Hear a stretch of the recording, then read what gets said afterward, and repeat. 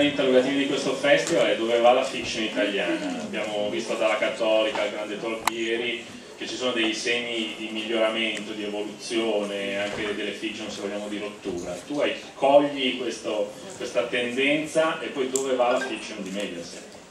Progetti. Diciamo un percorso innovativo che riguarda la fiction italiana è necessario, dopo circa dieci anni e più di programmazione, quello che vediamo anche succedere nei mercati europei è tutto un processo di, di rischio di saturazione del genere, no? perché i contenuti sono stati poi quasi tutti affrontati e riproposti più volte. Il rischio quindi dell'omologazione, quindi della saturazione del genere esiste nei palinsesti Proprio per questo motivo noi invece stiamo cercando di capire quali nuove linee narrative possiamo sviluppare. Questo dei liceali ne è un esempio bellissimo, ma tanti altri ne stiamo esplorando. E devo dire anche con successo abbiamo fatto, realizzato anche quello che consideriamo dei piloti negli ultimi eh, mesi di programmazione proprio per esplorare nuove strade, devo dire il pubblico ha risposto molto bene, questo ci, ci dà coraggio per continuare su questa strada. Tra l'altro noi sì, stiamo, dobbiamo dare eh, prodotti al nostro pubblico, ma in realtà come, come fiction media pensiamo molto anche al mercato internazionale, cioè vogliamo essere sempre più, internazionali nella proposta del nostro prodotto, sia dal punto di vista dei contenuti che nell'uso delle tecnologie o nel cercare di cambiare e rendere ancora più virtuoso il processo produttivo.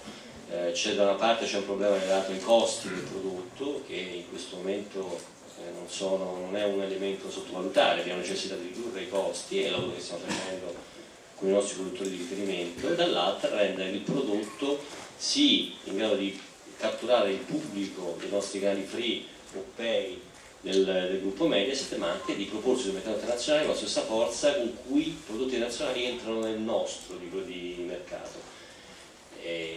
Lo stiamo facendo, i primi risultati ci sono, ma questa è la strada da percorrere, nuove tecnologie, quindi magari anche l'alta definizione, eh, nuovi modelli produttivi, nuovi contenuti, nuovi generi da esplorare.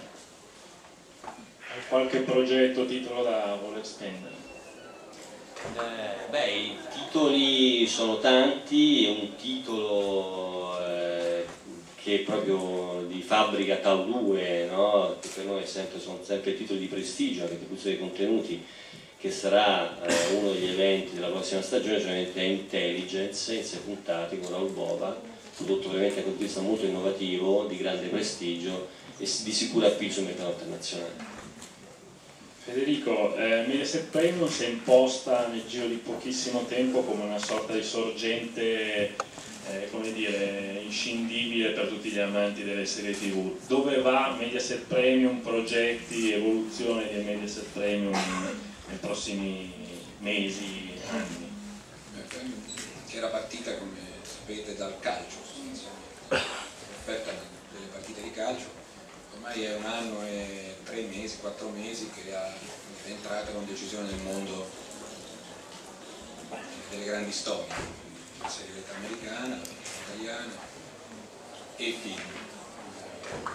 Stasera peraltro partono due canali nuovi interamente dedicati al cinema, sono i primi due canali che Premium offre interamente dedicati al cinema, un canale Medias Premium Cinema e poi eh, ritorna in Italia finalmente, dico io, anche Studio Universal che era stato eliminato dalla piattaforma Sky. Eh, che oggi invece ritorna a nuova vita su Premium. Um, aggiungo una cosa sul tema della fiction italiana, ho sentito anche i ragazzi, a volte succede anche a noi, eh, avere un po' di pudore nell'usare il termine fiction, fiction no, serie, meglio serie. Um, in realtà non, non, avrei questo pudore, la fiction italiana sta diventando, diciamo prima bene la Secchi, un laboratorio di straordinaria qualità. Poi magari ci possono piacere più certe etichette piuttosto che altre, però Io ho lavorato nel mondo del cinema, ho lavorato con, tra l'altro che ho prodotto, ho distribuito i primi due film di Lucio. E, um, penso per esempio all'esperienza di Muccino che viene da una straordinaria esperienza sul campo nel mondo delle ricostruzioni fiction, magari meno nobili, ultimo minuto, forse non ha neanche la dignità della fiction, che pure per lui e per molti altri è stata una straordinaria scuola, lo diceva prima Valsecchi, questo, questo livello, questa fiction prodotta con questi talenti, con questi mezzi, è una scuola straordinaria. E i confini tra dire, la fiction di genere, la serialità un po' figa, il grande cinema, si stanno veramente sfruttando quando abbiamo in campo talenti e mezzi di questo tipo. Lucio, anche per te la domanda dove va la fiction italiana, da chi la fa, dal punto di vista di chi la fa, No, io mi, mi, mi, accodo un po' a quello che hanno detto loro, nel senso che credo che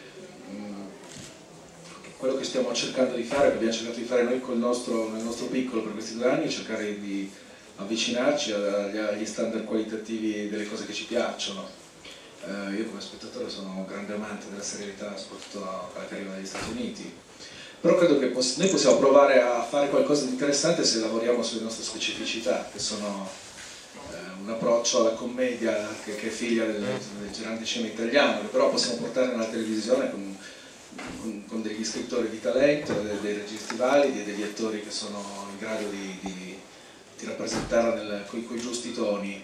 Um, a, me, a noi quello che ci interessava fare era di lavorare su, tenendo alto il livello di realismo e credo che soprattutto su è una cosa un po' difficile da vedere in televisione, quella forse è la cosa che, che differenzia un pochettino la, certa fiction dai, dai, film, da certi film, e che invece mh, mi fa godere, diciamo, quando, in, modo particolare quando vedo le, le, serie americane per esempio. Eh, per cui noi abbiamo cercato di, di tenere alto questo, questo tipo di, eh, di, livello più possibile sulla citazione, più possibile sulla costruzione di una, di una specificità nostra, senza andare a scimmiottare quello che fanno all'estero. Credo che se si cominciano a produrre cose che, che lavorano su, su, sulle cose che su, su questi temi che ci appartengono di più, forse possiamo alzare il livello del nostro prodotto notevolmente. Volevo chiedere ai ragazzi eh, i vostri telefilm preferiti, visto che qua c'è un pubblico misto tra giornalisti e anche addetti ai lavori, di telefilm. Un velocissimo giro, poi passiamo alle domande dei giornalisti. Oggi? No, perché non ho sentito la domanda, ero un attimo distratto prima di la, recupero. Io faccio giro. telefilm preferiti? Telefilm? E... Quali? Allora, mh, mm, sicuramente quelli che in assoluto dovrebbero essere secondo me le pietre miliari della fiction mondiale sono Scraps, Lost e Skins.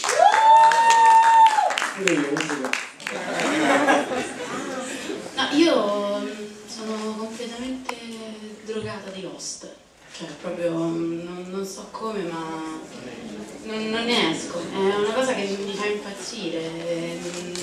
Vorrei lavorare, vorrei andare lì e dirgli fatemi lavorare anche a me, perché veramente... E, e poi il dottor House. Però, Ma anche quelle italiane, no? Io, io sono un po', so, un po', un po' più antico, però mi piace un sacco Friends. Un sacco Ho finito da tipo 10 anni, insomma. Sì, sì, più o meno quello. No, io invece sono innamorato pazzamente della serie televisiva Brothers and Sisters e secondo me cioè, di quelle che ho visto c'è una delle migliori, proprio a livello qualitativo in tutto, sceneggiatura, recitazione, eh, perché riescono a fare qualcosa di rendere situazioni assurde e renderle reali, cioè non so, riescono a fare questo mix. Guardo te, scusami perché... e niente, poi anche Kelly McBeal, molto bello. Io sono totalmente drogata di Grey's Anatomy, Private Practice, uh, Desperate Housewives, quello più per mia madre però, sono costretta perché me lo mette. E poi, uh, Scraps devo dire che ultimamente l'ho riscoperto perché all'inizio non, non, mi piaceva molto, invece adesso l'ho riscoperto. Come si chiama lui? DJ? JD. JD, ecco, lui è DJ, si vede come lo guarda. E poi basta, no, queste sono le migliori. Io non sono un amante delle serie perché non ho la costanza per guardarle, sinceramente. Però cui sono cresciuto e che ho amato è stata Beverly Hills. E poi adesso adesso mi piace Dottor House, ma non avrei mai la costanza per guardarle perché boh, sono fatto così. Happy Days. Cute. No, io devo dire che ho scoperto un... Io sinceramente non faccio discorsi politically correct, nel senso non so a chi, di chi fa... A me è piaciuta molto Boris, non so se, se siete riusciti a vedere, mi è veramente piaciuta, è, una, è un gioiellino, sto, non, non so se è in programma la terza serie, però mi piacerebbe. Per quanto riguarda le fiction americane, non sono un amante, però anch'io sto cominciando a vedere Scraps con un po' di, di ritardo e devo dire che è carina. Pensavo fosse stupida, invece non era assolutamente, è molto, è molto profonda, è, è bella, sì. Sì, basta, No, eh, No, mi